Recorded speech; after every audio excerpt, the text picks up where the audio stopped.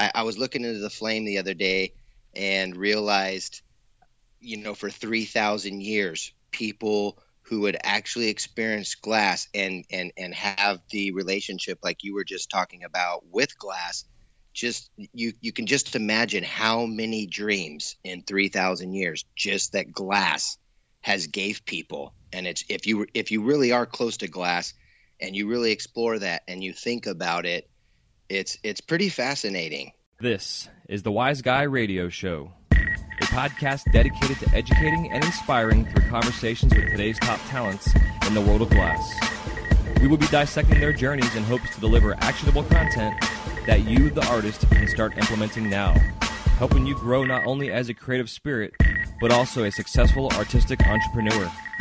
With a little organization, relationship building, and your artistic ability, you can obtain greatness. Climb aboard, whether an artist, retail owner, or enthusiast. We have a ton of fun in store for you. Welcome to the Wise Guy Radio Show.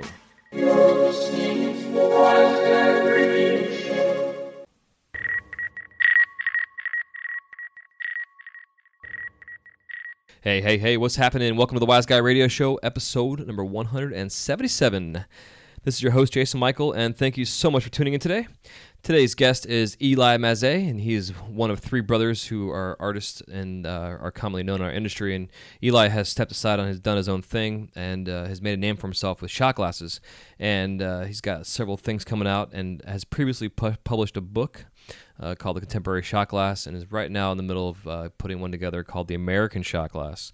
And it's really a story about the history of the shot glass. It's pretty cool. When him and I get into a lot of that in the conversation here, I don't want to give too much away, uh, but definitely had a lot of fun talking to him. Uh, we have a lot of behind the scenes uh, things we were talking about before we actually hit record.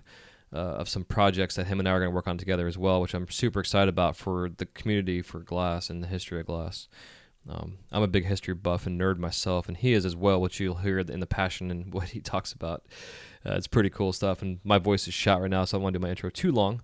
Had a long day. We're at the Mouse House making pumpkins and hanging out and talking to guests, and now it's about 10 o'clock at night here Eastern, and I'm fucking pooped. Uh, but some fun stuff is I got my uh, my buddy Chris Dickey's in town. Him and his wife Scott in town tonight from Texas. He'll be over at Champs uh, this weekend for the trade show. So anybody in Florida listening to this episode, this is coming out live Friday.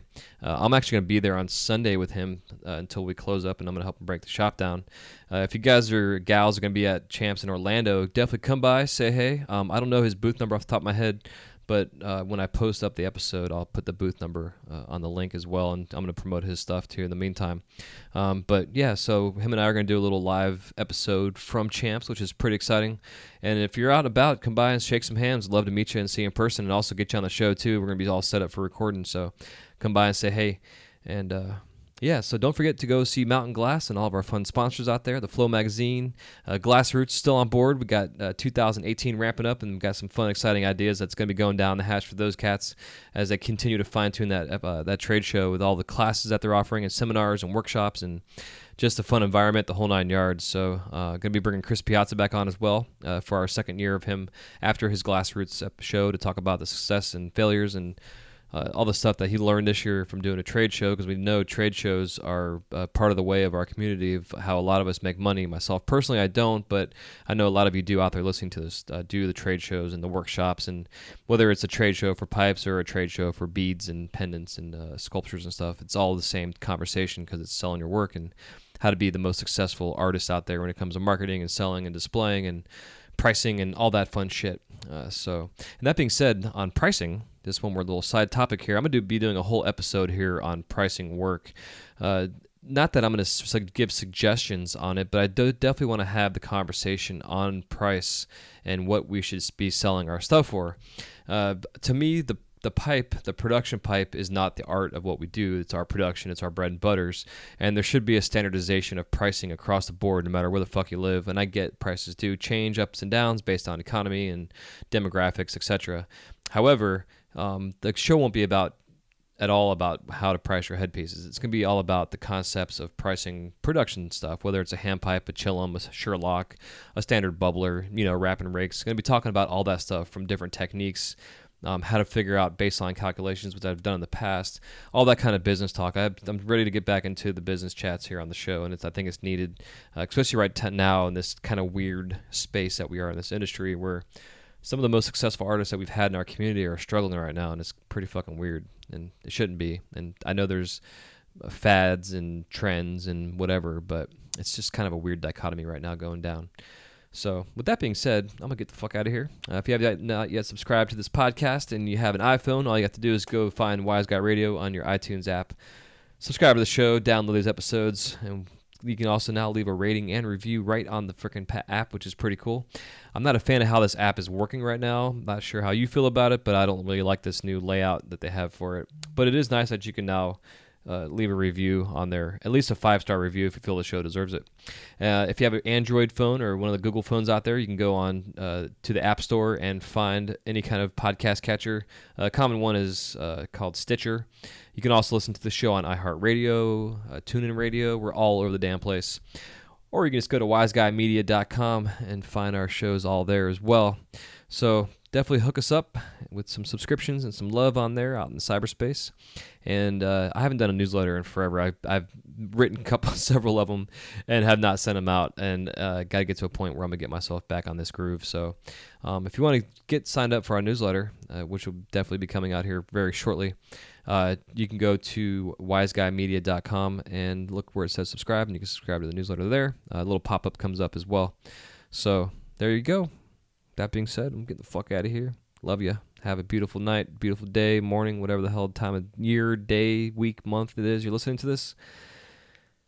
And happy melting. And if you're not a glass artist, thanks for listening. Anyways, I appreciate your enthusiasm and appreciate anybody and everybody who listens to this show because the world of glass is fucking amazing. Yeah, I do. I love it.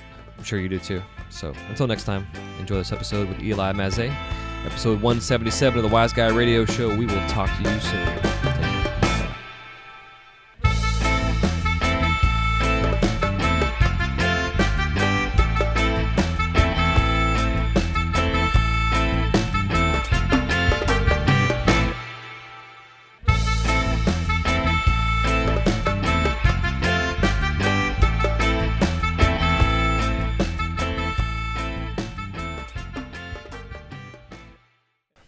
Hey, what's up, Eli? Welcome to the show. Hey, what's going on? I'm glad to be here. I'm stoked. Yeah, dude, me too. It's uh it's been a long time coming, and I'm glad we were able to work our timings out and scheduling and shit. And we're both busy as hell, so thanks again for uh, putting some time aside for the show. Oh yeah, I'm I'm excited. I'm I'm glad to tell everybody about this uh, exciting uh, American shot glass. Yeah, I'm ready to hear about it myself. The so, American.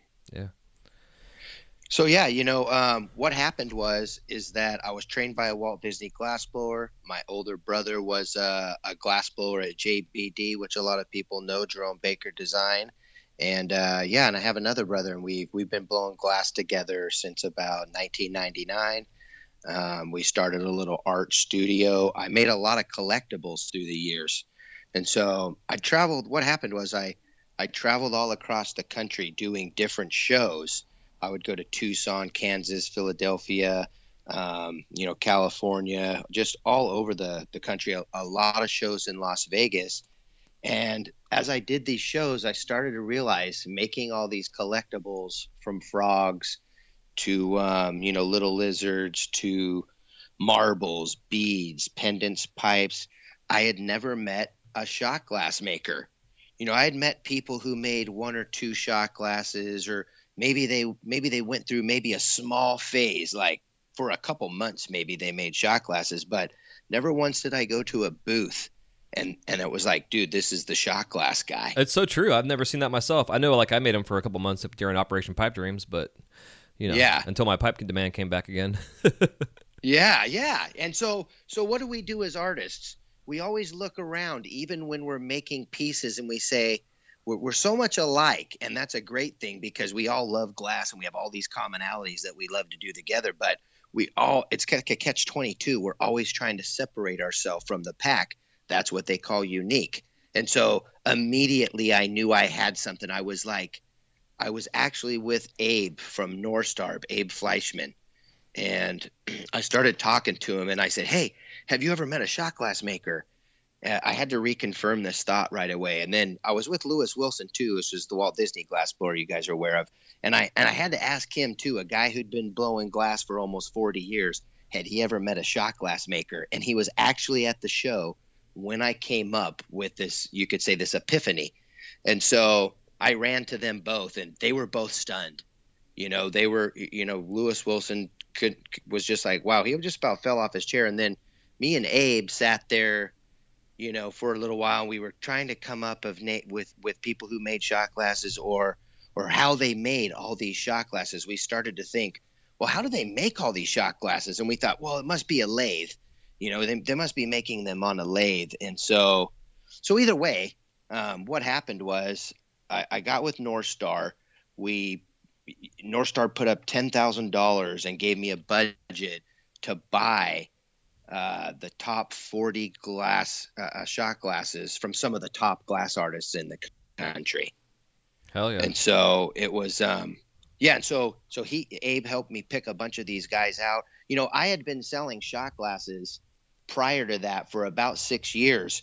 I mean, I also kind of identified at one time uh, how it really, you know, how how it got started uh, before I even came up with this. This oh, I've never met a shot glass maker I was making shot glasses in about 2006 at a show in Las Vegas. I had noticed that no one made shot glasses, and I was in Las Vegas at the oldest glass show in the country.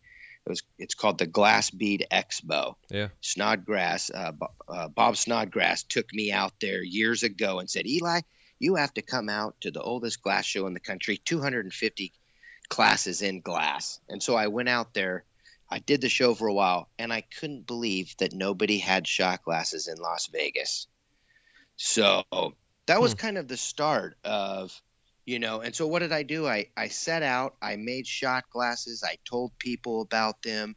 Um, I got with uh, artists from Darby, once again Snodgrass to um, Josh McDaniels, Tim Dreyer, Marcel Braun Salt. Uh, I had John Bridges um, Anthony Charles, Nady Biskin, uh, just just a numerous Her, uh, Harold Williams Cooney, Mente, Sack, uh, Hacky Sack, um, just Road Dog, just a whole bunch of Jared DeLong.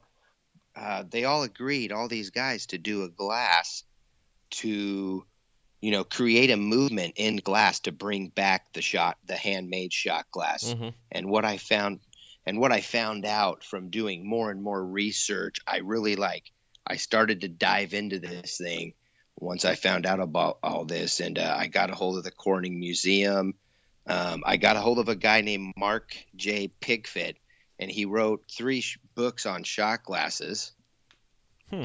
And I found out, yeah, well, well, so now we have to ask why. Yeah. You know, yeah. now we go into the question like, well, why? Okay.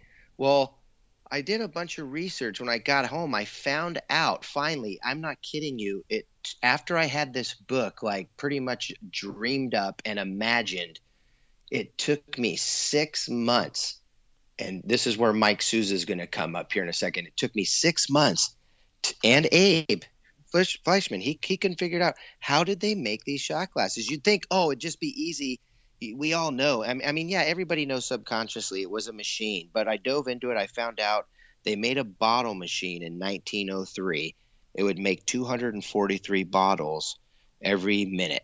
Whoa! It, uh, it and then uh, that was by a guy named Michael Owens. Um, in 1926, they blow by that. Corning, a guy named William Wood, makes a machine that makes 400,000 light bulbs every 24 hours. Holy shit. That's crazy. And no one's ever inspired to make a shot glass again. Prohibition passes in 1933. The machine starts making a half a million shot glasses every 24 hours. They use it for advertisement.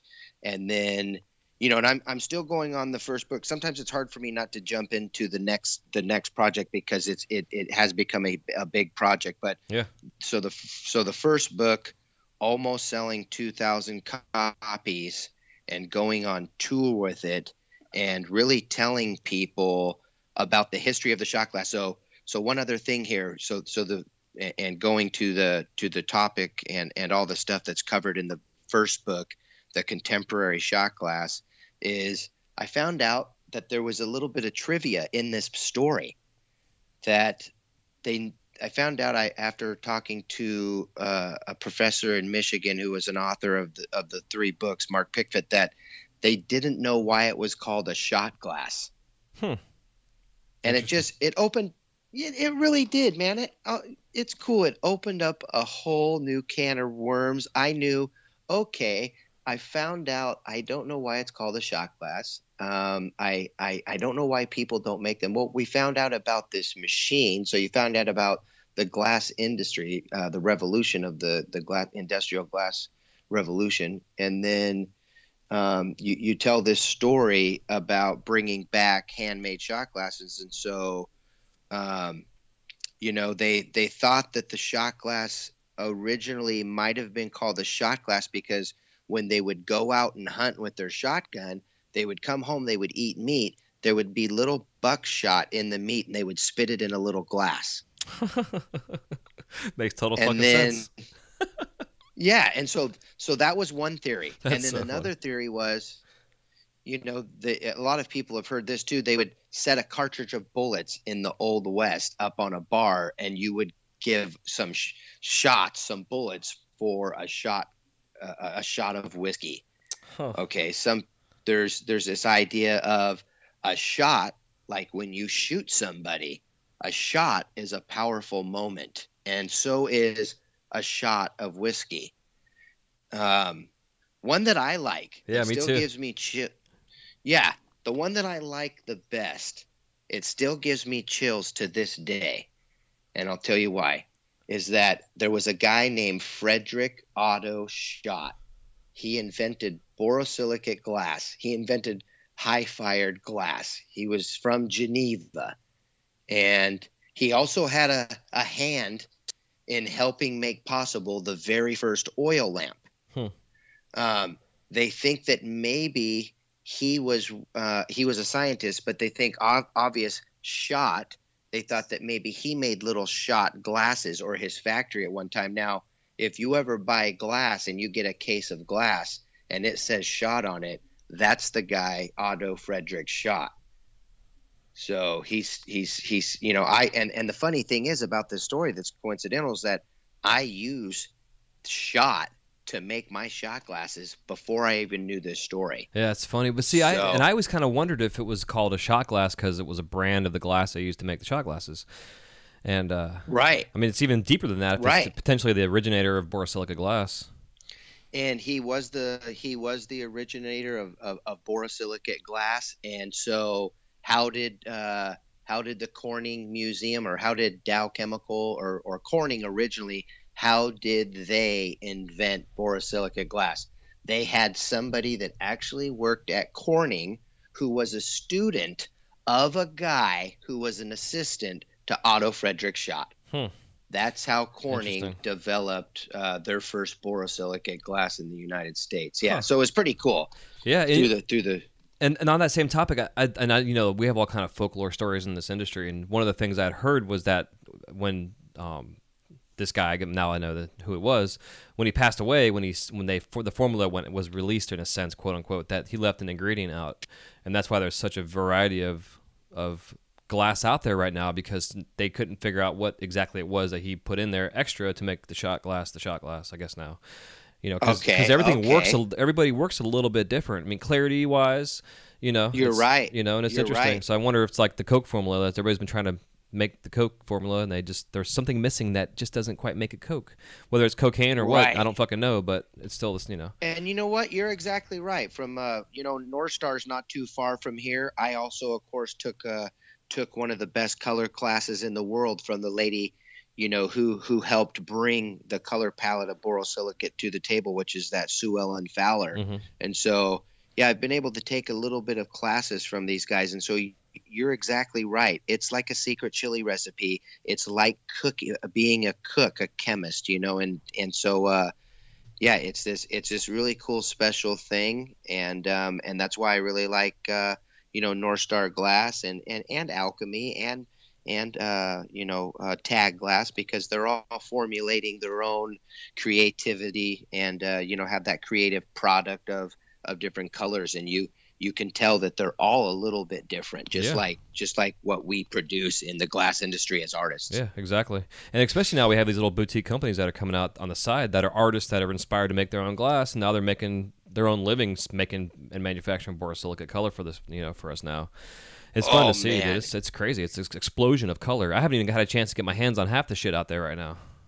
Yeah, me neither. And that's you know what that's something that I aspire to do more of. And I do buy a little bit of it, but but really do buy some uh, hand pulled tubes and stuff like that. Yeah. That's that's kind of where I make my my higher end shot glasses. When I get when I get some good tube that I pull with somebody or or maybe they you know I'll meet them at a show and I'll I'll find somebody who just has some really good tube and those make the best shot glasses. Yeah.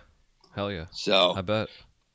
So uh so yeah, and so you know, so so what I did is I I pretty much kind of, you know, I think I gave you the majority of you know the first book, the contemporary shot glass. I think that I think that I covered most of it.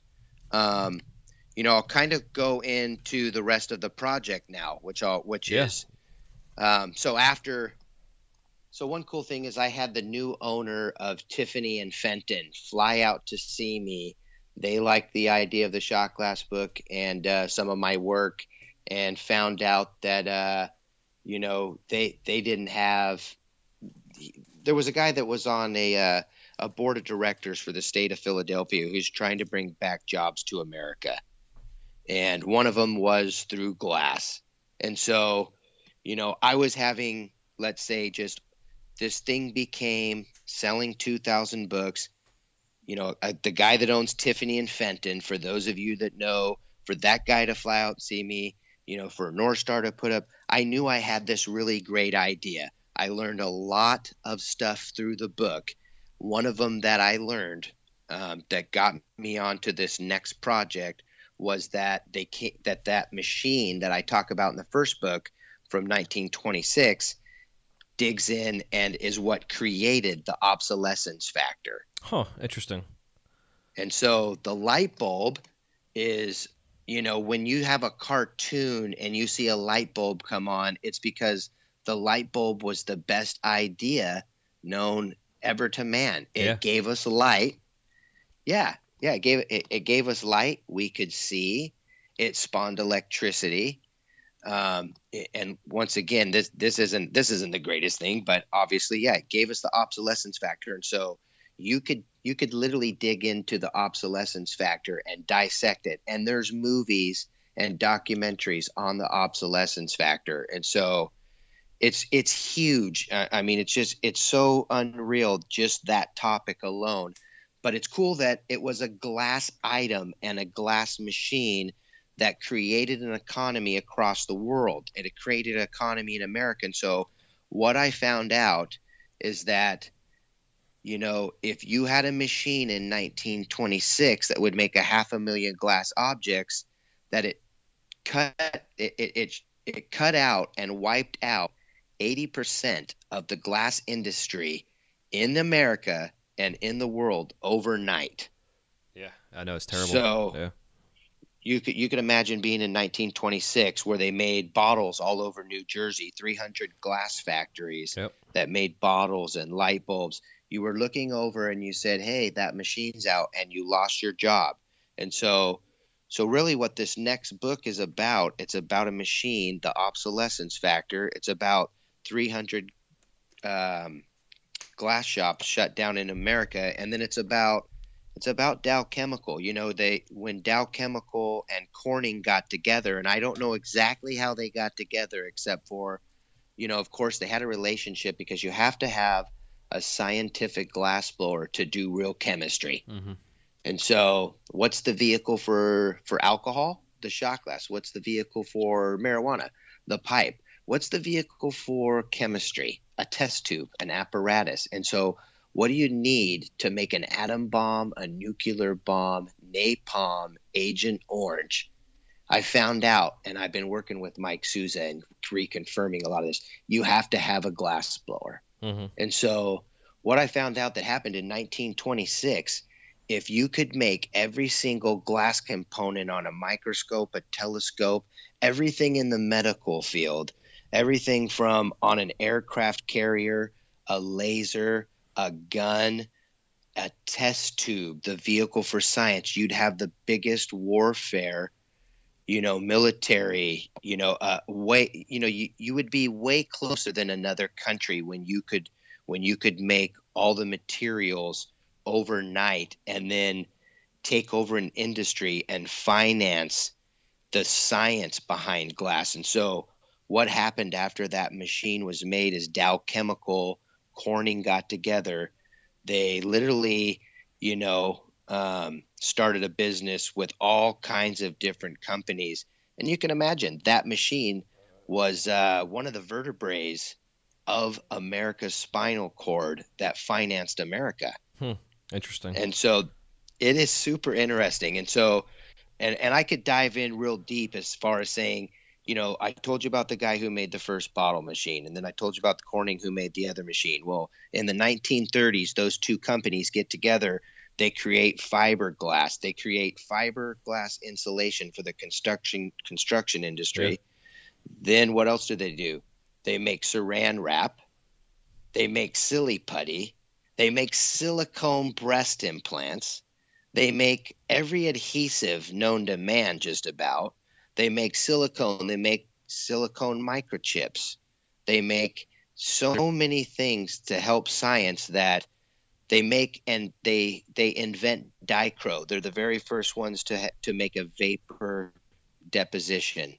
They make um, uh, uh, fibers for you know the internet for cell phones for wi-fi you know they, they create fiber optics they actually create the biggest thing that they created was they made and helped uh, make all the pharmaceutical industry mm. and so dow chemical and corning actually have a business together with eli lilly crazy It makes sense and though. so and and yeah and it does it makes sense and it's not a conspiracy against corning but it is but it is you know, you know who, and then this is another interesting thing is who backed the light bulb?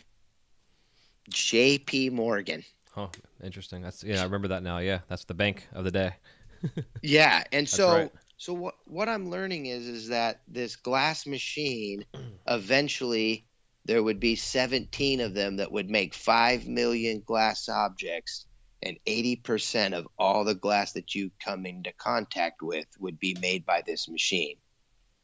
Amazing. At one at one point, yeah. they they now have what's called S and M machines, and they're systematic, and they're it's a little different, but because we've gone through same thing, we've gone through um, you know time and and things have evolved and all that, but you know I'm not I and, and so this is what I'm.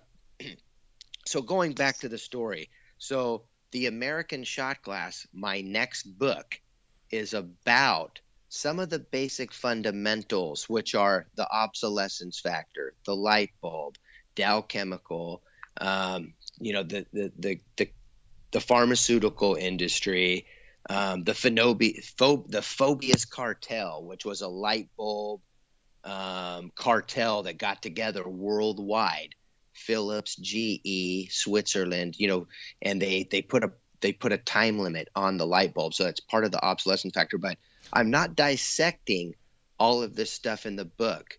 This next book is to showcase the shot glass, tell people about the history of the shot glass, and then slowly drift into telling people about the history of the glass industrial revolution through the shot glass. Now, if I if I made a book and I just put a, a book out on the glass industrial revolution, you just won't get that many people going towards it and gravitating towards it. So yeah.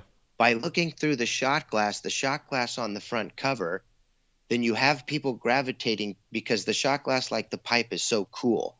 They gravitate towards and they learn something about they learn something about the history of glass, how 300 factories were shut down in the 1930s and 40s due to this machine. And they learn about the obsolescence factor. They learn about how we're ruining the world with the obsolescence factor.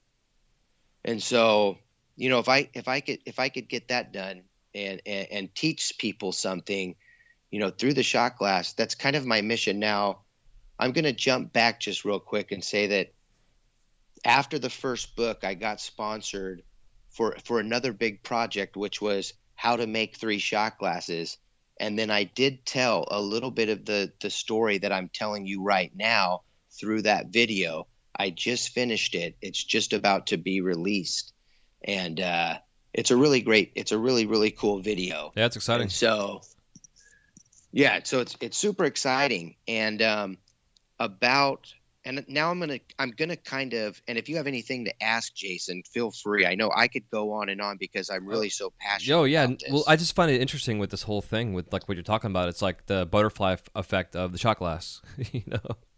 Or And it really yeah, is. it's it's so interesting. I mean, really from the invention of borosilicate per se, but really from this particular item, from that machine that manufactured it, Yeah. to where it is now. It's like it's and, I, and that's the way my brain works. I like to see things in like branched out from a starting point. You know, whether I'm going on a road trip or making something, whatever it is, it's my way my brain works. I don't know if it's my ADD or what the fuck it is, but that being said, I appreciate what you're talking about because I can see that. I can see this historical branch of this butterfly effect per se of the fucking shot glass and what it's caused. It's like the six degrees Yeah. of separation from Kevin Bacon bullshit, you know.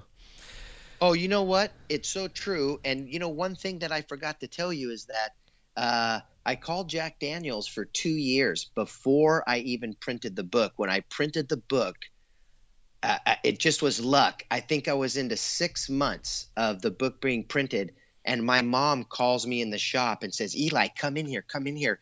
Jack Daniels is on the phone," and I'm like, "Jack Daniels, like the corporate?" Yes, and I go in and I tell this guy the story that I'm telling you right now. Like the head fucking dude at Jack Daniels, dude. That's awesome. and he says to me, he says to me, you know what? We don't call people back. I got your message. I want to hear your story. What do you want to do? I said, I want to come out to Jack Daniels. I want to tell the history of the shot glass on your annual event. And I want to make shot glasses on the spot and just and tell the story yeah. and they and they loved it. They they absolutely fucking loved it. And then he says, and, and after I told him the story and I got him, and, and passion is a lot of of enthusiasm and that kind of stuff is sometimes it, it it can it can get in the way. So you have to be very careful because people can people can mistake Mhm. passion and enthusiasm for a bullshitter. Yeah, or a little bit of craziness. so- yeah, for sure. And so I've learned that over this experience that this book, people would come to me and say, you know what? I thought you were bullshit, man. All that shit you said, you fucking did it. This is crazy. So either way, what happened was um, they told me that they'd like to use the book as a form of advertisement to tell a story within Jack Daniels. Rad. And I mean, you know what? I was so fucking stoked at the time. I went into a dream state because what my that was my kind of goal with this book. Something that I left out was that there's all these people making pipes. Look at the hundreds of billions of dollars in the pipe industry. The part of the reason that I did the contemporary shot glass book was to start a movement and to tap into the hundreds of billions of dollars in the alcohol industry and to bring jobs back to America, to bring jobs back to American glass blowers. Fuck yeah. And you can imagine if you if we all, every glass blower out there could tap into drinkware, not just the shot glass, but all the drinkware out there Yeah. and the hundreds of billions of dollars, we could create a collectible just like the pipe, but it only takes us to make these things and we start the demand, as you know. Yeah, I think it's a great idea. I mean, I see it at work all the time. People come in that collect our, our wine glasses over at the Magic Kingdom, and it's just because they're they're Disney fans and they come in and they want their annual whatever variety of wine glass we were having that year, you know. And Right. it's the collectors, and and you're smart by saying that too with the the alcohol people because it's it's glass is glass, whether it's a shot glass, a fucking Stein, or I mean, there's you know such a variety of glasses, especially with the craft beer movement nowadays. You got to have a certain glass for a certain kind of beer, you know, and right. as much as we all want to make pipes, sometimes it's fun to not make pipes and make things you can have fun making and still make money and still to have your voice in that piece. Right. And then and then you killer. know what? And it kind of you know, one thing that I showcased in the book a little bit, but I, I could have wrote a, just same thing. I could have wrote a whole article on this is that it really gets you closer to studying the con or the, the, the two prohibitions, which are marijuana prohibition and alcohol prohibition. And the commonalities between the two are so similar, except a five year old can buy a shot glass. A five year old, you know, and, and, and what I'm saying is that the liquor industry, it's more accepted mm-hmm. than the pot industry. And you can go and get drunk and, and drive and do all kinds of shit. But but the marijuana is is better now that it's opening up now. But you know how it was even ten years ago. Yeah. Um, the difference between the two. So I like kind of, uh, uh, you know, th- this topic comes up a lot uh, in my everyday, you know, when I'm out there in the scene. So, so this is so I know that uh, we we've talked a lot. I'm gonna I'm gonna tell you tell you on this this uh, this next go on to this next phase now, which is you know I I started doing all this stuff the the the, the shot glass uh, contemporary shot glass book, and then I did what's called the American shot glass documentary slash how to video and then I'm working on this next book, The American Shot Glass. Well, what is the American Shot Glass? I, I explained it to you guys. It's a story of um, conspiracy. It's a story of the shutdown of Glass America. It's a story of bringing back handmade glass objects, the obsolescence factor. And so I was with a media person. She had showed up at my booth about a year ago and she she had heard my story. I was on the news here and I was in the paper and stuff and people have heard my story locally and she came to me and she said, "Eli, I think you have a documentary." And she works for Sundance Films. She was one, she's a big broadcaster, news broadcaster and a, and kind of a media face in the community. Hell yeah. And I kind of yeah, and I thought, "Wow, this is cool." And you know what? She never came by again. I gave her my number, and you know, people get busy and they, they put things off and whatever. And about a year later, I was with another friend of mine, and he says to me, Man, Eli, this is like a documentary. And a light bulb came on. And I, I said to myself, and I started to think about Marble Slinger's documentary a little bit. Mm-hmm. I started to think about his documentary. I'd watched it, and I started studying all the glass documentaries I could find, and I couldn't find hardly any. Yeah, there's not and I started there. to think of. So I called, I called North Star. I called Coatings by Sandberg. I called Carlisle. I called Milon Townsend. I called Robert Mickelsen. I called the top glass blowers in the world to see if they would sponsor a documentary geared towards Netflix. And I potentially got you know already about twenty thousand dollars with with with what with what my camera crew can do you know if i can get forty to sixty thousand dollars for a budget then i what i have set up is interviews with some of the oldest glass shop families who are in their 90s in the oldest richest glass america in new jersey and new york hosted by and and accompanied by you know guys like Mike Souza and Mary Doherty from from Carlisle that are that are all sponsoring me. And and they're actually all team members you know that we're just I'm using them as a resource to and so right now it's um it's on the back burner because I have to get I'm working on this book and I'm getting this book done. I just got the video done and I haven't even got it all the way printed. And so what I'm saying is is that we have all these motions in our mind and and uh, uh, the fruitation hasn't even even even even came into play of even even starting this thing. But i think after everything that i told you you could probably imagine a netflix documentary for the glass community on the history of glass yeah absolutely yeah i can totally see Through, it yeah absolutely yeah so so i'm really excited uh, about it and um, and yeah, so that that's kind of that's kind of uh, you know quite a bit of it in a in a in a in a big huge nutshell. yeah, dude. Well, it's exciting. It's you know it's it's it's one of those things. It's one of those objects. I just it's I guess it's like why don't other people make them? You know, I just never I never Yeah. really thought about it. And I know like I've worked with some guys in studios that, that did art and craft shows besides doing you know make, being pipe makers, and they had a variety of shot glasses, nothing fancy or really anything, but the stuff you're putting out there is pretty badass. It's like stuff that you would see in a smoke shop. That's a pipe, but it's not a pipe. It's a Yeah. It's a, it's a shot glass. So I guess like Yeah. you know early on in your career, I mean you're a pipe maker at heart, you know. But what was there a, a tran like where was there a transition in this whole phase of your glass life where you're like, because like you go on your Instagram and I don't see pipes hardly at all except for collabs that you've done. So like, Right. we're like so was and you know what? you know my my old so my older brother worked for JBD, and you know, I started off doing little pipes and stuff. That's really got what got me interested. And then my wife at the time couldn't stand me making pipes. sounds like my so, ex.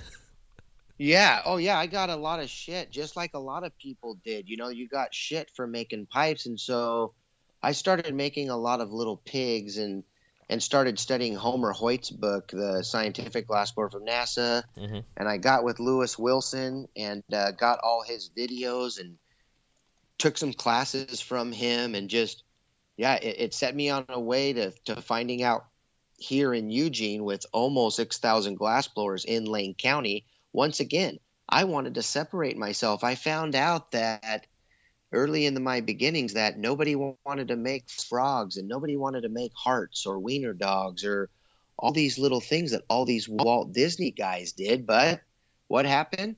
Walt Disney started buying stuff from China in the in the 90s. Yeah, well, we're well, so- the company I work for. We're actually a third party, so we're like, we're- Okay. yeah, we're considered to be an operating participant. And so the Reb- the Arribas Brothers is the company, and uh, yeah, we eventually yeah, got to a point to where because like now we're on all every park around the fucking world that you know all the shops, and yeah, so we our stuff is such a broad variety of stuff and glass.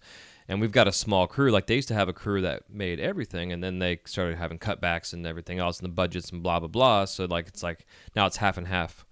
You know, basically, that's what it's come down to. You know, so we have like our, Okay. our you know our overseas stuff, and then we have our in-house stuff, and the stuff we make in-house usually just stays in-house. There's some regulations in Shanghai that's not letting us actually blow glass on site there, but we have a like we have a glass Okay. engraver, so a lot of times we'll ship certain items that we make in-house at Magic Kingdom, for instance, and we'll ship it to Shanghai. Or like I've made like we our original shop was in Disneyland, and I'm in Disney World in Orlando, so the whole times like there's times where we make stuff here for our shop out there because there's no longer glass blowers and the disney environment has also taken us operating you know participants basically and we get shuffled around and our stores get smaller or they get really fucking big and we got to fill everything up all this space we have now you know? It's really interesting. Just a kind of a side Well, note you- you know on that. Well, you know what, and, and I, I I used to uh, work with a couple guys that work for you know subcontracted for for uh, Disney too, which was that Sean Sai and Bo Sai, and uh, and and so yeah, they they used to make stuff, but but it, what and what I'm talking about here, what I'm going into Yeah, is yeah. that it's it's kind of like the machine to for for and and what you talk about is that for really everybody to even make enough stuff for everybody who's a customer of Walt Disney would for everybody in America would take a place like China, a place that was huge that could mass produce stuff, which we just don't do that in this country Mhm. anymore. yeah exactly So so yeah, and so but I could understand how many glass blowers it would take just in America if you didn't get any imports at all and you would and you understand this Mhm. but I'm talking to our to the people who are listening right now that it's kind of like the machine Yeah. you know it's uh it's the same concept it, it, it took our jobs away and so by doing this documentary and bring back handmade American glass I think it brings back just like there's no sock companies I mean if the you know if if a guy from Tiffany would come out here and try to get ideas from me about the shot glass go home decide that he didn't want to work with me because he couldn't really pay me enough and he just he was kind of a, a, kind of guy that was trying to lowball me. So I ended up telling Tiffany uh, and the guy that owns Fenton that that I didn't want to work with him because he's too of a too much of a of a hustler. And so um so yeah but if you get a guy like that that's actually trying to bring jobs back through America goes home and puts on a, a, a his website that he's looking for shot glass makers because, hey, the American shot glass is not made unless it's in soft glass, in and it's not it's they're not these unique things. Now you go into soft glass in Italy, you go to all these other places. Yeah, they're making cane shot glasses and stuff like that. And that's where me and you were talking earlier that since the shot glass hasn't really been touched or made in almost a hundred years, is that there's huge room for design with all the new techniques that the lamp working community has come up with. They the techniques that the lamp working community has come up with have never been put into a shot glass. Yeah, I agree. Hundred percent. And, and what's interesting with the shot glass too, like I make them myself uh, for gifts here and there. Like my dad collects them, so I make him one for his birthday every year, and they're really fucking easy to make. But it takes a couple to get the proportions down. I mean, and it doesn't have to be a perfect shot either. But ideally, if you want to mass produce them or have a market that wants a perfect shot, then you got to you got to have you know your ounces and stuff figured out. But that being said, it's a really simple piece, and just using the magnification of the amount of glass you have on the base alone, there's so much you can do with implosions. I mean, you can make a living off just doing implosion bases on these little clear, you know, body shot glasses, just leaving the bodies clear. I mean, and you're making them fully worked you know and and you know what and that might be something that you might even tap into when you make yours for the american shot glass the new book there there i did do a, a flower implosion but it won't be i am not doing one for this new book but nobody's really tapped into doing implosions on the bottom and i think you're onto something i think it's a great idea and look out there look at for look yeah. for shot glasses yeah. with implosions on the bottom there's not many no uh-uh. you know um, I've got Hujean in the new book. I've got Gregory Paul Shire. You know, one thing I want to tell you, two things before I, why they're on my brain here, just real quick, is that Paul Stankard said that this shot glass collection from the contemporary shot glass is the nicest shot glass collection ever put together in the history of glass. Wow, yeah, that's awesome. That's and a huge. So that's a huge thing. It it's super cool. yeah, coming from him, it, it was gold to me. And then another thing that I liked about the project and about the book is that the the book really certified that the shot glass is the number one collectible in glass untouched by the glass community. Yeah, it's true. It and is. So yeah, I completely agree. That's one of our biggest you, sellers you, too at work is shot glasses. Oh yeah, and, and you can imagine you can buy a shot glass in a gas station, a gift shop, you can buy it in a liquor store at the airport. You can buy them in a grocery store. You can buy them everywhere. And so why? Because they make 5 million of them every 24 hours. Mm-hmm. They put labels on them and they they became a novelty. And so why didn't people make them?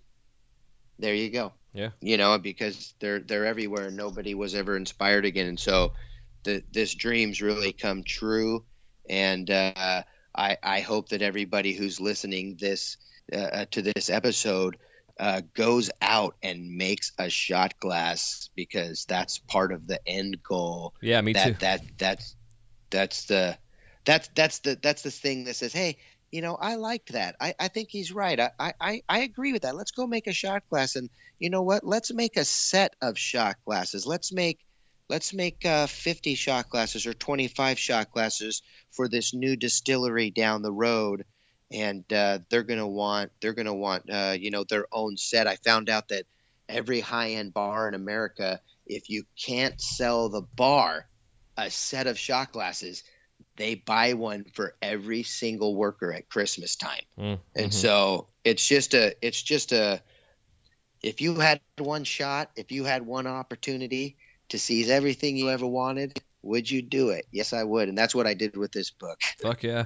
Well, you know, it reminds me like uh, Maker's Mark. They do a an ornament for uh, that they sell like a limited edition ornament for whiskey every year.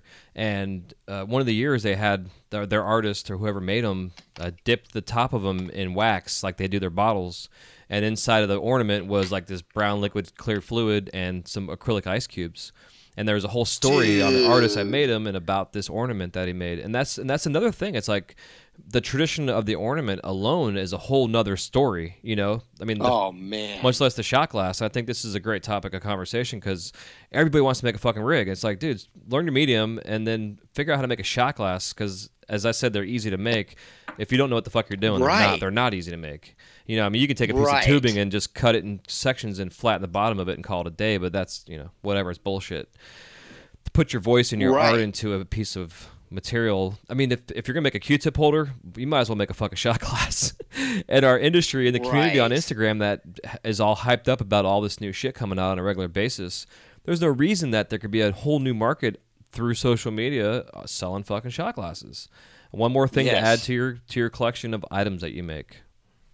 Yes. You know, a whole set. I you know for the for the last six years, I've sold anywhere from thirty thousand to fifty thousand dollars worth of shot glasses a year, Hell yeah. and so Congrats, Yeah, it's, it, it it's it's untapped. Um, yeah, it, it is. It's cool. I, I I'm really stoked. I, I I love the whole project. I I couldn't be happier. I mean, I literally think about it every second right now. Um, I'm I'm constantly doing research. I mean, I'm not kidding you. All day long, I'm on the phone with somebody. You know, why I blow glass? I'll take a break. I'll call somebody. I'll take a break. I'll call somebody. I mean, I just just recently I found, let's say, I mean, I, I hope to teach the, the listener something too, like on a project like this. Just like when you're creating to make a glass piece, you're thinking about all the time what you're going to make. You're looking at other things and what you're going to make. Well, that's the same thing with this project. For example, today um, I looked up, you know, what were the top 20 glass manufacturing companies in the country.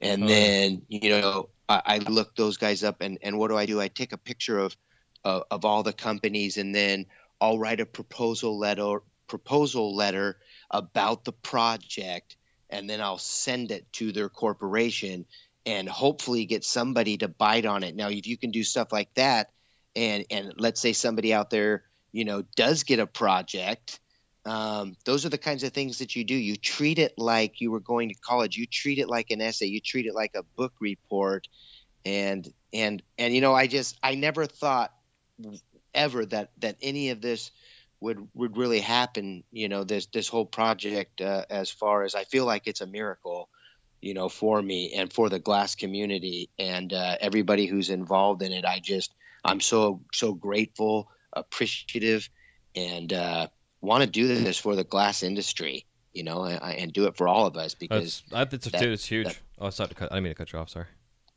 Oh no, no, no! You're right. Yeah, it's huge, and and and and it's huge for all of us, you know. And I and I've never been the kind of guy that that that wanted to make. I mean, I I I went through that period of my life where I wanted to make the coolest piece in glass, and I wanted to be that guy too. And so I can understand everybody out there when we're talking about dreams. You know, dreams in making a piece and making your piece piece or your first piece and showing someone and dreams of you know actually standing out in something that you're good at that you love and so i can understand all that and so that's why i have the grat you know that's why i'm really grateful for for my life and everything that i've been able to do because i know this is going to take me into far away places and and uh i'm just real happy and grateful like i said Yeah, man, it's awesome. It's and it's amazing, you know, like you're saying with the dream and the journey, where when you find that thing where it can take you, and it's just no matter what you have in life, how fucked up life can be, as long as you can stay on track with that one specific thing. I mean, glasses got me through my life the last almost 20 years. I mean, I don't know where I'd be without it in my life. I know I'll never get bored, but like just you know, it's helped me grow into the character and the person I am today from all the mistakes I've made in glass, you know, and I've learned that Yeah. in glass, I have to learn from those mistakes to get to the next level. And life's the same fucking way. I've made a sh- some stupid fucking mistakes, and I've learned from those fucking mistakes. And I pray to God that I'll never make those mistakes again.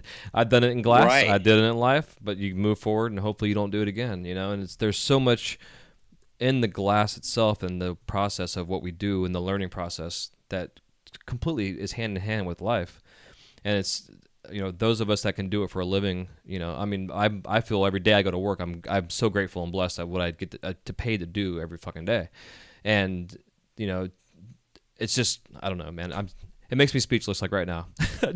You know Right. crashing and burning. It's just amazing. It's just the opportunities. But you got to really i guess with the whole thing i guess my whole point was is is you have to understand that no matter how things work out, if you don't pay attention to the doors that are opening for you and don't walk through those doors, you can sit around and pray for things all day, but if you don't take advantage of the things that are given to you, you're gonna be fucked, and you're not gonna get those dreams realized. You know, like I heard some, you know, somebody's uh, ancient philosopher or whatever was something about like the the uh, some guy went to a door for him to, for an opportunity, and he's like, "Oh, I'll go through it tomorrow." And like 20 years later, like, "Hey, this door's here for you still." And he's like, "Oh, I'm gonna go through it tomorrow," and he's like, "They're dead on the front door," and he's like, you know, goes off to heaven, and he's like, "Why didn't you go through that door?" And he's like, "I was gonna go through it, but then I died." And he's like, "Well, that door is only there for you. It's not there for anybody else. You wasted your time sitting there waiting to go through that fucking door." And these doors, like, Right. you know, you obviously walked through some doors, dude, that got you to these opportunities to be a publisher. I mean, Yeah. you know, would you have ever thought You one day what? you'd publish a book? I I didn't, and you know what? It goes back to exactly what you said, and I think we share a lot of commonalities. All all of us glassblowers is that I had a hard time in life. I went through rehab. I did all kinds of stuff that I don't even want to talk about on here that I'm embarrassed to say because. And, and you know what? I think there's something to it. I think people that have had problems, uh, maybe you know, some kind of life problems or maybe they did dangerous stuff even that was that was just the stupidest thing i think some of those people they're good at glass because glass is dangerous and you and you have to kind of you kind of have to be a little bit of um you know a hellion almost i think i think i see a lot of glass blowers that i'm identifying in my head right now that that were kind of like that they were kind of risk takers kind of like a motorcycle you know you don't don't like- send somebody on a motorcycle flying through the air that's normal Right. I, I mean, I compare it to the skateboarding community a lot. You know, like you know, then this being a skateboarder and having this. I mean, back in the day, you know, before it was accepted per se, you know, kind of like Yeah. where the glass community is now. Even though technically it's still illegal for what the pipe makers are doing, but that being said, you know. We're now accepted in the community. We have a voice. We have our tricks. We have our style. We have our flair. Blah blah blah. The same things that skaters have had, but it's the same kind of personality. Not just anybody's gonna jump on a skateboard and go do a fucking 900 backflip, you know, with your hair on fire kind of shit right you know right but, i think too Yeah. part of it for me for myself i find that reasons i've done it for so long is going back to my having my add bullshit which i bring up all the time in this fucking show but it's just i know a lot of us deal with this crap and for me because it is such a dangerous thing it really makes me focus on it and allows me to follow through on things because i don't have a choice you know what I mean? And, Right. and that alone has taught me outside of the torch to that. Hey, I, if I have a task I'm starting, I gotta fucking finish this now, instead of having Yeah. 25 different little tasks that never get finished. yeah You know, and you and i mean you can tell i've got add too and you can tell that you know and that's part of my problem i mean i guess i could talk to you about a couple other projects that i'm doing but i didn't want to go off into them even though they're really fucking cool Mhm. you know but um but but i won't go go into them we can bring And, it back uh, another time and share it.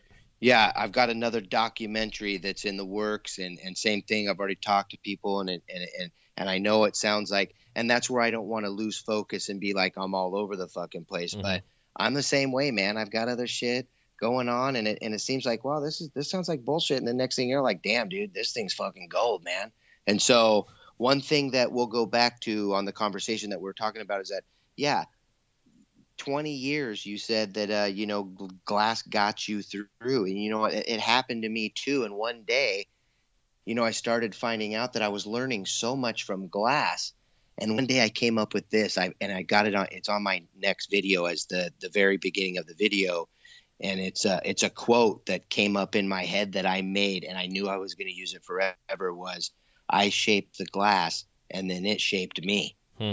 and it and and it really did. It It's shaped such- me into a brand new person, man. And I'm, I'm, and once again, I'm so grateful that glass was almost like a religion for me. That I hung around people that enjoyed their life. I hung around people that wanted to be something. You know, you people that were making things that were exciting, and it was they they were being identified by what they made. You know, Yeah, so yeah, it it was man. It's still just like you. I, and I talked to Milon Townsend, like I said this week. He wakes up. You know, we wake up. You wake up.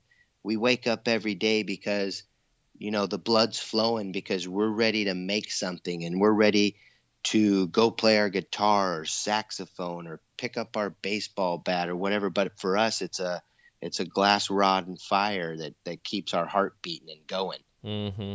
Yeah. It certainly is, dude. So here's a conversation I want to have with you, which uh, I, and don't take offense to this because I love your work, but I want to talk about biting and, and style. Now, when I first started seeing your work, obviously you know where I'm going with this. I'm, I'm pretty sure, but you have a huge influence of Salt's work in your work, which I love because you've taken yes. this concept of his work and come up with your own perspective on it, and you've made a name for yourself with this particular style. I know Salt doesn't give a fuck. If anything, he's happy about it because he's influenced somebody that is talented like yourself, who's been able to take what he's taught and take it to a different level. Now, are you given shit by people? Do people call you out and say, "Hey, you're fucking biting salt"? Like, is it like, and, and I'm, and I'm, and if this makes you uncomfortable, dude, we ain't gotta talk about it. But I want to bring this up because I haven't had a chance to have like a Mike Shobo on, who's, you know, people bite his shit all the fucking time and don't get, and right. if anything, they talk shit about him. And Right. You have an appreciation for salt, and I know you do, and I've seen it in your work and things you write about and talk about. So, I don't know, man. Right. Are you cool talking about like you want to, you want to talk about that, like, dude? In your style, I'm so glad. I'm glad you brought it up. You know, I'm I'm I'm the kind of guy. You know, I'm I'm pretty easy going, and and and nothing really. It, it's hard to bring me down, and uh, and, and this kind of stuff doesn't. You know, I'm I'm pretty open about it. I was uh my my older brother was a pottery teacher. My younger brother was a tattoo artist and i was i was actually apprenticing to be a tattoo artist before i got into glass. Hmm. and so what i found out in the very beginning of doing art was that people would get mad even here in eugene this one guy if i made a frog.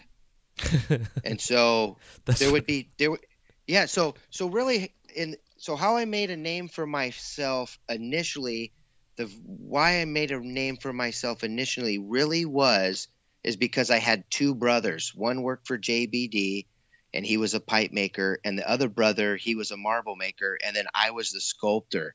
And so you had this huge pipe industry and everybody was making pipes and in, in you know in 2000 I was hitting all the bead shows and and all that stuff and you know there just there wasn't a lot of people doing i recognized like wow i could do all this stuff uh, uh, you know that nobody else is making but i did run into people obviously i wasn't the only motherfucker out there you had kevin o'grady and you know harold cooney even mm-hmm. before mm-hmm. he made pipes and you know you know the names they're yeah. all out there and so what i'm getting at is that i would you know when you first get into being an artist and especially especially blowing glass, you don't just go in and paint a picture. What do you do?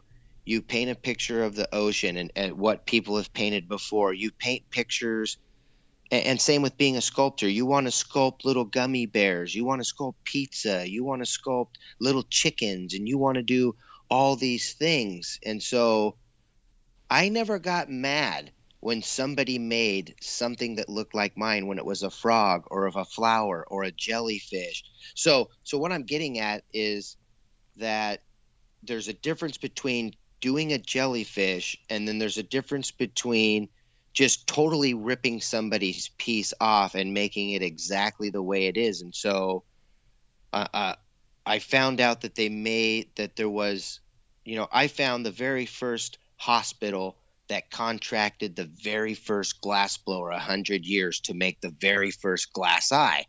And I started studying the history of the glass eye. And so that kind of compelled me into making into into also making glass eyes. I met a guy named Gregory Gregory Paul Shire and he was influenced by Salt. He made eyeballs. And I met Salt years and years ago at a bead show. So and, and I'm going to get to the get to the point here, and I, I'm not trying to step back here and there, but what happened was I made so many hummingbirds, armadillos, chihuahuas, um, frogs, rabbits, lizards, you know, all that kind of stuff. That one day I see a monster. and I was blown the fuck away, dude. It was like someone injected a bodybuilder with steroids. And I was like, oh my fucking God. I could do an eyeball. Well, guess what? I saw Gregory Paul Shire doing eyeballs, and I said, you know what? I don't know if I'll ever be good enough to really do an eyeball. I mean, I can make these little frogs and all these hummingbirds and shit, but God, that shit looks intense. And so I didn't make them for you know 2000. I saw I saw him making them. I didn't really make any till like 2006. And you know, I got the same thing here in Eugene where I found out all my friends and stuff and everybody in Eugene, these 6,000 glass blowers, nobody wanted to make a monster. They were so scared of pissing off salt or somewhere or, or someone around here to make a monster. So, like 2006, no one was making monsters in Eugene. And I said, you know what? Fuck this shit. I'm going to make a line of fucking monster spoons. I'm going to make a line of monster marbles, which nobody was making then, mm-hmm. not even salt. I might have been the very first guy to do a vortex marble with eyeballs and shit all on the back of it. And I said to myself, I looked at Salt. Okay, he he caters all all to the pipe industry. And I said, I'm going to make monsters for the art world, for the galleries, for these places that salt doesn't go to that and i'm not going to make them salt's way. I'm going to make them like when i started making frogs or anything else. I'm going to i'm going to try to make it into my own like take one of my mar- brother's marbles or you know yeah make a shot glass you know make things that and, and it wasn't like i was looking at him saying i'm going to make this i knew right away i wasn't going to go try to copy oil rigs and bongs and yes i made a few bongs few oil rigs but i've never gone out there and try to hit. And I only sell pipes to people I meet. You cannot find a pipe of mine in a store unless somebody bought it from me four years ago. Hmm. I ended up quit selling pipes in stores because I was selling them too fast and I couldn't keep up anymore and I got tired of of making him. and so yeah so this long this long uh, question and I think it's I think it's good just to to bring it out on the table, like you said. Yeah, that, yeah, absolutely. You know, I I just same thing. I just talked to Lucan, which is Salt. Mm-hmm. You know, just yesterday actually, and uh, he's making a new glass for the new book. You know, he knows, and I've told him many times, and he knows that I give him credit where credit is due. I actually tell people that he was an injection, even though I have been blowing glass longer than Salt has you know, there's these guys like Sherbet and Hitman, which don't even compare to Salt. But as far as their marketing strategies, there's some people that just they rise above, mm-hmm. you know, and Salt, Salt's to me, you know, Salt and Eugene, uh, Micah Evans, Darby, you know, Bosai, those are my favorite glass blowers because they have this inner glow to them besides just the glow on the torch they've got that inner glow. You know, it's almost like that. There's that that fucking movie, you know, with the the karate guy when you got that glow, and he and, and they're beating the shit out of each other, you know. but um, but yeah, and so I think that anybody should be able to make a frog. Anybody should be able to make an octopus. I inspire and teach people to make eyeballs and horns, and uh, never ever are they even close to as good as mine usually and guess what mine are never ever close to what salt can do you know mm-hmm. he's he's he's on the top of the, the the, the realm and he and so that's another reason you know there's there's all these different things about people well i wish i could make the best glass in the world i couldn't so i started doing books and media and i said i'm going to do what's my calling and what I'm good at. And so everybody has their facets and everybody's good at something and we're all connected. I really believe that we're all connected and that um, it's more than um, than just individuality. Mm-hmm. Yeah, so, I agree. I agree. Because um, we, so yeah, we've so that, all we've all been inspired by somebody or many at some point in time, you know, throughout this career of ours. Yeah, well, and I think, like, you know, I don't think I finished it, but I think when you're in the very beginning of any art, it doesn't matter what it is, that you have to be inspired first because you just don't go out and buy a glass uh, uh, you don't go out and buy an oxygen tank, propane, and glass rods and just start blowing glass like a lot of those people out there who say, I'm self taught. Well, yeah, you're fucking self taught, but you fucking got an idea or inspired from somewhere. You just didn't fucking set up a glass shop and teach yourself how to fucking blow glass. Mm-hmm. And so it's the same thing with when you first get into art, you copy everybody. So people would call me a copycat for my first 10 years. And then after my first 10 years, or maybe even less, people really knew that I was Eli Mazet. Yeah. So, so yeah, and then and then yeah, just just uh, you know it, reconfirming that you know salt knowing that you know as some people might say biting or or ripping somebody off that with salt knowing obviously who I was because you know salt was catering to the pipe industry since 2003 or whatever he when when he first started blowing glass well I was selling at probably more stores than he was selling at by far in my first 5 years in glass for sure than he was only because I was mainly selling at 2 to 300 glass galleries across the country you Mhm. know Yeah, yeah. doing um and, and so and, and because of you know going back to how I really made my first name was people people really knew the Mazet brothers.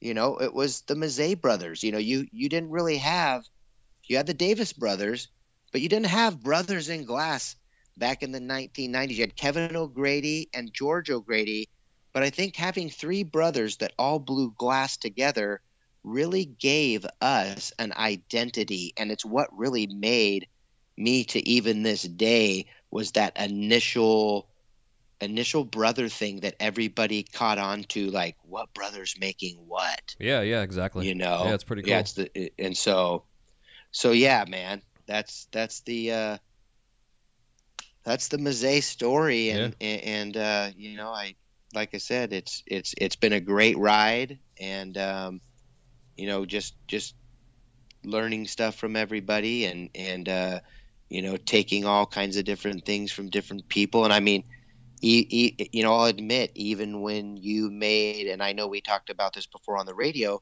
but even when you made that little snowman i had to try one. Hmm you know i, I tried it that Oh, uh, day yeah, the day you made Yeah. that little snowman because i have three daughters that all love walt disney. So and that's when i say to you that you really impressed me because my fucking snowman didn't even fucking touch yours. I was, I mean, I should have thrown it. I should have thrown the motherfucker away. I was actually, I was actually like, that's when, and that's what I like about glass is that glass is kind of like seniority, is that nobody just comes in and knocks a piece off to a T unless it's something super basic. hmm You know, you really have to put in the work and do hundreds of them to really get that that feel of like that's a mine, motherfucker, and you can tell Oh yeah, dude. that Well, that's not someone else's. yeah, totally. But even like with the Olaf, like I mean, I people ask me like how many or how long it took me to get him down, and I mean, it literally took me two weeks just to figure out the production side of it of how I was going to make it over and over and over and over, just the steps of it, and then I had to make at least a hundred, if not more than that, just to really tweak it to a point. Because like when I first, I get the, my first piece that got approved, which was I was happy about, but it wasn't the the same character from the film, and but it still represented the character. It looked similar, but not exactly. And from myself and being a Disney nerd, and also what I do as an artist, I wanted to nail that motherfucker. So it was like he was jumping off the screen. I mean, I had to watch the movie a thousand times. There was no three dimensional anything available because of how hot the movie was. Everything was selling. So I had to just figure it out myself after repetitions and practice and that. I mean, I'll never forget that when I finally got it, and it was like a it was a couple hundred of them into it, and I was able to say, okay, this is how I make it every fucking time. Is how I just did it now. And because it took me 200 times to get to that point, I understood the process and the steps. And it's that move, it's a chess match. And like just recently, my newest character I got approved was Remy from Ratatouille. And it's a Pixar character, which has different proportions than what Disney has.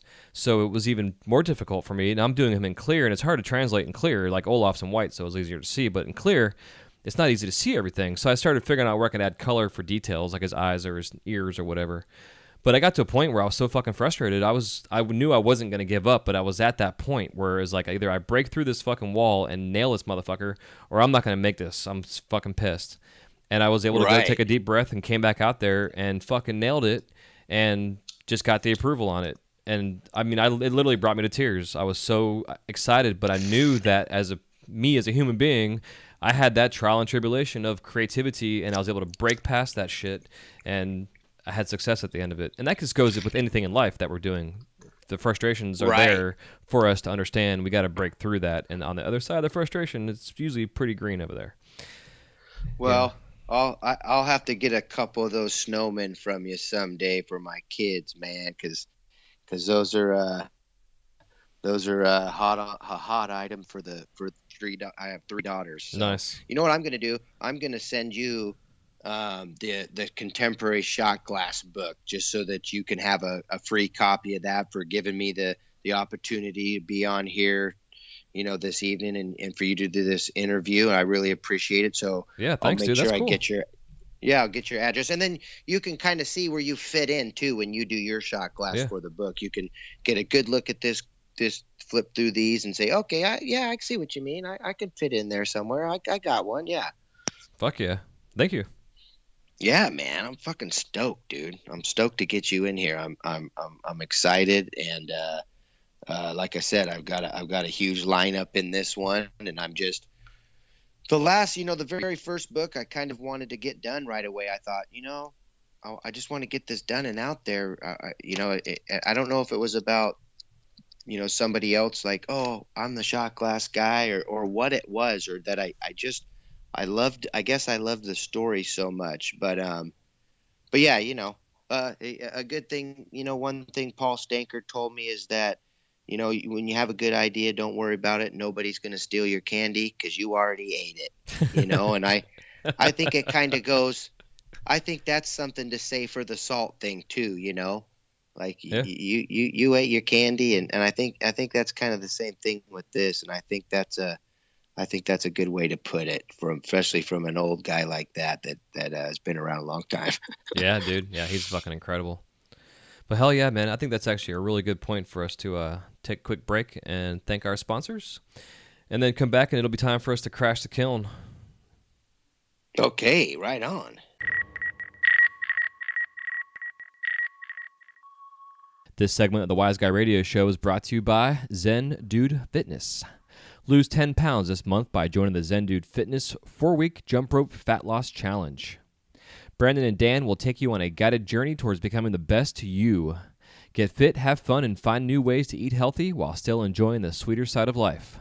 Just takes 20 to 30 minutes a day and no gym required. For more info and to sign up for the free four week challenge, go to wiseguymedia.com forward slash Zen Dude Fitness. That's wiseguymedia.com forward slash Zen Dude Fitness. Yeah, man, the Crash and the Kiln round consists of seven questions, and uh, you can give me a 30 to 60 second answer with them. And if you can want to expound upon them, we always do. And the first question I always like to ask to get things started here is if there's any living glass artists that you haven't worked with yet and you want to, uh, who is it and why? I think if I was worked with anyone, it'd be Vittorio Constantini, and mainly because I learned a lot of stuff from his videos that probably took me to another level uh, more than anybody else. Hell yeah. Yeah, so it would be phenomenal. Vittorio. Yeah, I love his stuff, and and I've learned a lot of stuff from his videos. If you don't have the video, you can get it at the Corning Museum. It's 32 pieces of glass that he makes that you get to watch him make, and it's just it's worth a million dollars. Yeah, Fantastic. What are your uh, top five favorite colors in glass? Uh, my favorite colors in glass, I like rust red, blue moon, amber purple. Um, I really like lilac, and then I gotta say, you know, I I really like slime. Oh yeah. I like the original slime the best still. Yeah, there. Yeah, I like the I like the old slime too. I I you know I ordered some a couple years ago, and they had that shift where they had like three or four different slimes, and so yeah, I I, I get them all now. But I, I I like to use them as an accent more than uh more than make the whole piece. I, I really like to use it as an embellishment. Yeah, same here. I do this, and that's why I was happy with Illuminati when that came out because it's got that same similarity. It's more yellow, but it's got that nice opalescent oh translucent oh yeah and I, color. I, oh yeah I, I do love the uh the lemon drop too oh yeah mm-hmm. that that's a fuck i love that shit yeah it's sexy hell yeah so uh if you want to give us your worst injury in the studio my worst injury in the studio somebody came through my shop door and and at the time my my torch was closer to the door than it is now but they came through at a moment where I was really it was an intense moment for me and I was all by myself and they came flying through the door. They scared the shit out of me. I went to look over and my thumb went into the full-fledged mm. flame. And and I kid you not I was under ice for 18 hours. It was like it looked like a hot dog got burnt in the fucking campfire.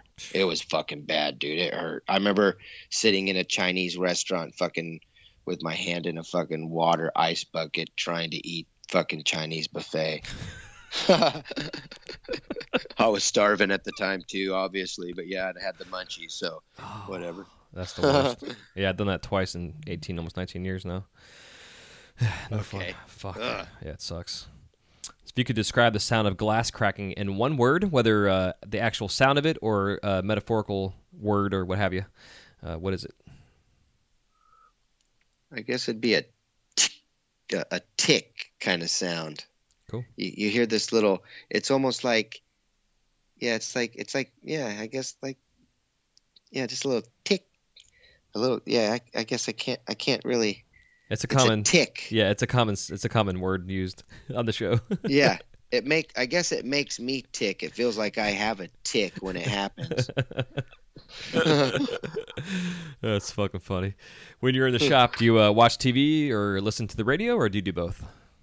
I don't watch TV. I I every once in a while I'll, I'll I love my favorite thing to do. I like to. I never let school get in the way of my education.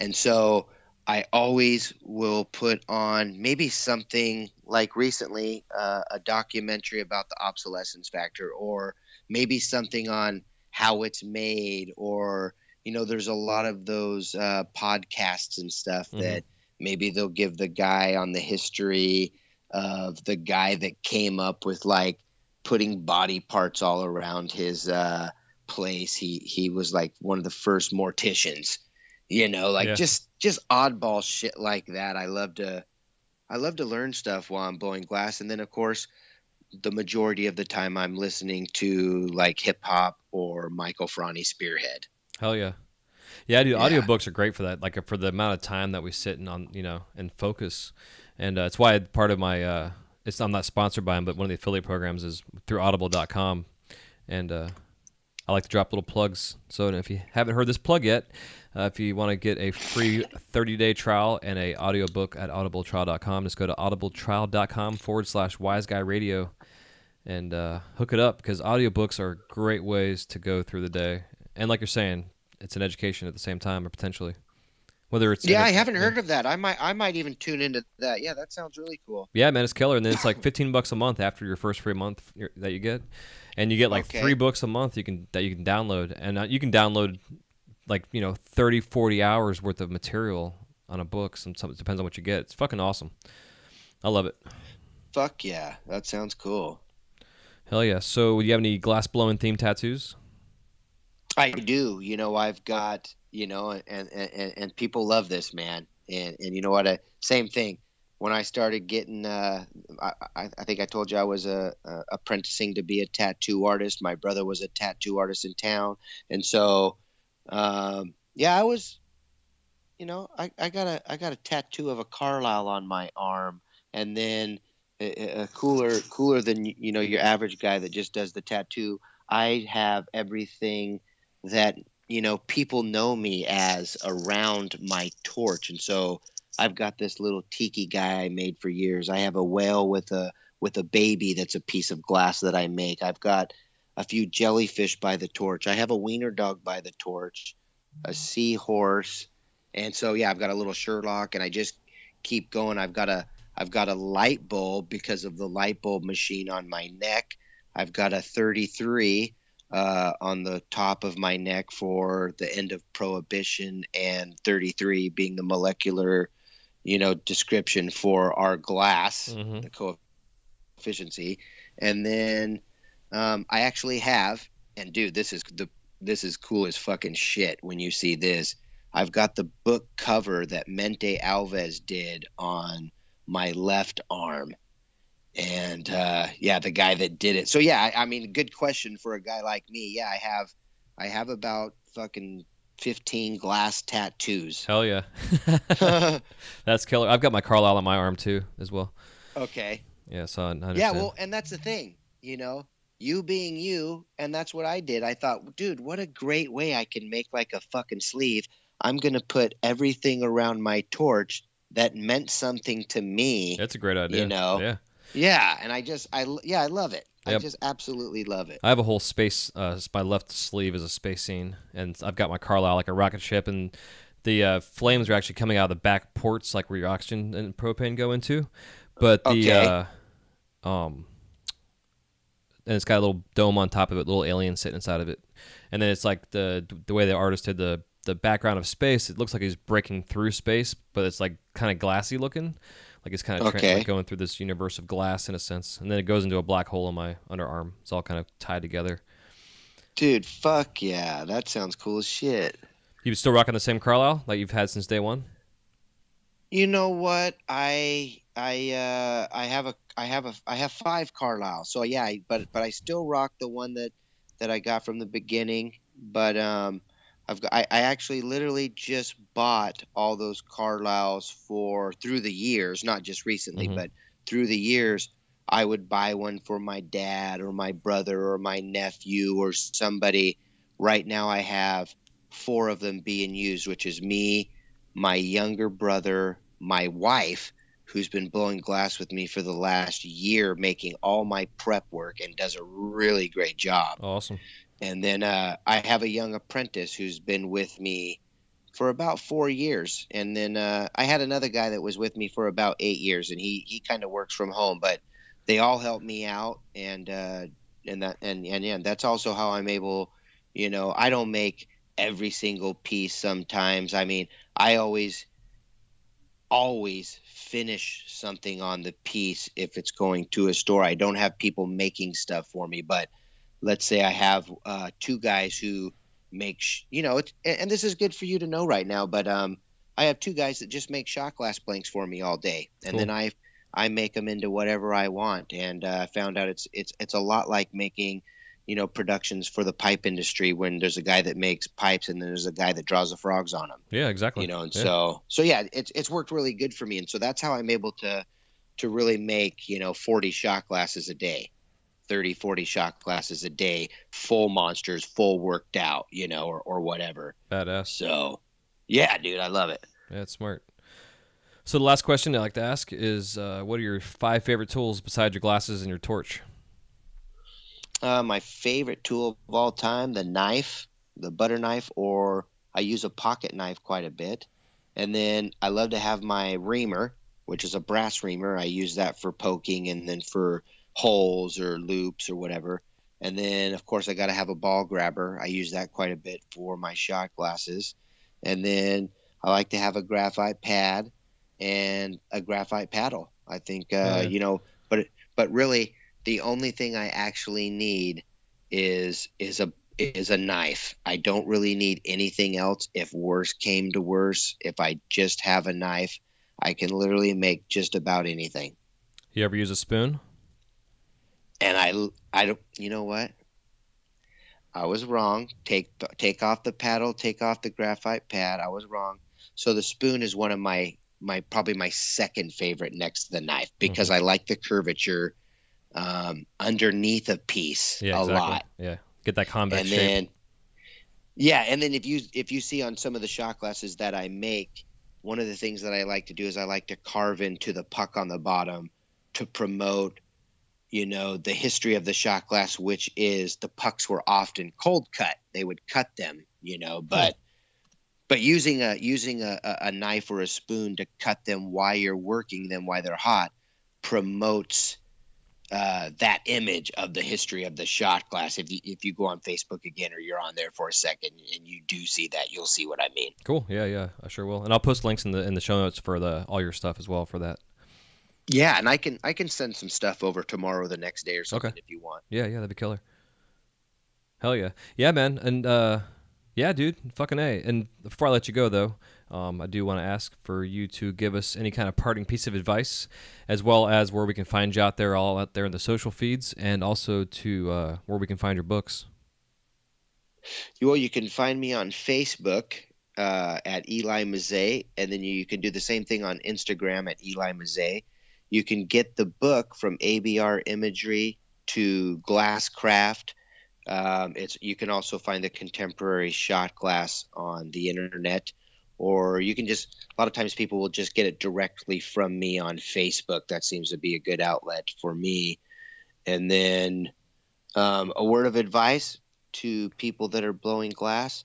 You know, one thing that I did, um, you know, we talk about all these dreams and all these things we want to do.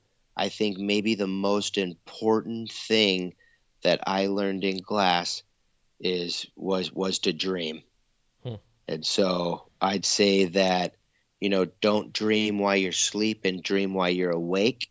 You can you can change the dream, you can you can switch over to another dream, you can control the dream while you're awake and look at a crystal ball while you're doing it and really get the book The Secret and manifest your life because it's the whole reason that uh, someday you'll see that maybe I get signed to do the biggest casino in the world for $57 million to make every shot glass for uh, the Mandalay Bay, Yeah, you know, or whatever. That's what they paid Dale Chihuly to make a bunch of flowers, you Right. know, and so I have a feeling they might pay me something like that to do a shot glass, and that's that's not something that that I say as far as like, oh, I got to have that, but I'm just saying those kind of dreams do happen if you if you put enough time into them, and so so yeah, I guess the dream factor would be my my best advice was to to be creative in in, in your mind and, and and try to try to bring yourself a better life through a vision. hell yeah, well said. Yeah, that's killer. yeah. man. Cool, man. Well, I hope you all enjoyed our conversation with Eli, and definitely go check out his book and all this stuff coming out. It's gonna be amazing, and we will be uh, keeping you all in touch with, uh, the new release of the new book, and also where you can find his uh, documentary that's gonna be coming out here at some point. And uh, I'll keep you abreast as well as my shot glass getting made for this book, dude. And again, I appreciate the opportunity for that. That's fucking killer, man. Yeah, man, I'm stoked, dude. I'm so stoked to get you in. I mean, your work is, you know, top notch, and and and your professionalism, and and I think that uh, you know a lot of us have all these other qualities that we bring to the table. Like, you know, I'm really proud of you for for being able to do this uh, interview, and and uh, when I saw you, you know, coming on here to do this radio show, you know, I don't know if it was a few years ago or whatever. I mean, yeah, I mean, let's get real, man. You know, people inspire each other, and uh, yeah, you were you were an inspiration uh, on a on, on you know just just another inspiration like a lot of people are. But um, I mean, I definitely thought about uh, uh, immediately. I mean, like I said, I'm not going to hold nothing back. I'm pretty much real talk when I talk to somebody. I I mean, and I I, I hate to bite too, but I said, man, dude, I'd like to do a little blog like that, and I and that's just real. It's fun. Well, dude, there's been other ones that have tried it, and uh, it shit ain't easy. Yeah. You know? Oh shit, man. No, no, no, no. you I- know? I, but I but I appreciate what you're saying though, because I'm I, I that's No. what that's what sparked my interest was listening to other shows. I'm like, damn, I would love to do that and talk about glass. yeah. How can I do this? Yeah. you know. So I, I Yeah. pr- totally appreciate it, and like we talked about pre-show, I definitely want to talk about that more from the future because I think that's uh, something that we could definitely uh, make happen and would be yeah. super oh, exciting, yeah. dude. And you know the the further I get along on this other documentary, like I said, that I I mean, and I know you talked about a little bit, but I mean, it, it's a little it's a little bit about uh, uh, you know I'll, I'll just tell you real quick. It's a pipe doc- documentary here in Eugene. okay. and it's it, it's inspired same thing off of you know the history of Eugene and Bob Snodgrass. And Cool. Bob Snodgrass is in it, you know, and and, it, and it's a story of Bob Snodgrass and from Bob Snodgrass to JBD and how how some of this like trickle effect happened in Eugene and then yeah, it's about Eugene glassblowers and I'm living I live right here in a, I was born and raised in Eugene and so all my friends worked at JBD and and so it's a story about Eugene really more than just the pipe but it's this contemporary pipe thing you know yeah, yeah. so cool. I'm, so yeah that's I exciting. mean I'm I'm yeah I'm really excited about it man. I mean we just got work started working on it like you know started actually working on it in the last just couple weeks of really seeing like this is a real thing. So so yeah I'm excited about it. And I, I'd hope that yeah I'm sure that eventually we'll have to hook up and, and, and do that. And then yeah, uh, yeah. you know keep in keep me and you keep in contact because of because of the book and stuff. So yeah we'll we'll definitely be building a relationship so i'm, I'm pretty excited about you know just us meeting and being able to communicate on here and uh being able to work with each other Yeah, likewise, man. That's why I love this medium because I don't get a chance to get out that much and have an opportunity to meet yourself and other artists I've looked up to. I've looked up to your work, bro, for a long fucking time. So I appreciate you coming on here and taking your time out of your day and sharing Yeah. this this crazy story because I fucking love history and I know a lot of people listen to the show and, and you know internationally love history, especially when it comes to glass. So thanks again. Yeah. dude. appreciate you. yeah thank you man jason i really Yeah. appreciate it Hell yeah! And uh, hang on real quick. I'm gonna say we'll say uh, goodbyes off the air too when I get, hit end here. So hold on one second. I'm gonna do my outro real quick. okay Yeah. So hold on. So uh, yeah, I hope you all enjoy this episode with Eli, episode 177, which I can't fucking believe 177 episodes, dude. it's cooking. It's mind blowing. Yeah, it's crazy. So fuck yeah Jesus. So until next time, thanks again for tuning in, and we'll see you next time on the Wise Guy Radio Show. Y'all be good out there. Keep yourself hydrated. Happy melting. Love you. Bye bye. This episode of the Wise Guy Radio Show is brought to you by The Flow magazine. Since its inception, the focus of The Flow has been to provide a bond among members of the lampworking community.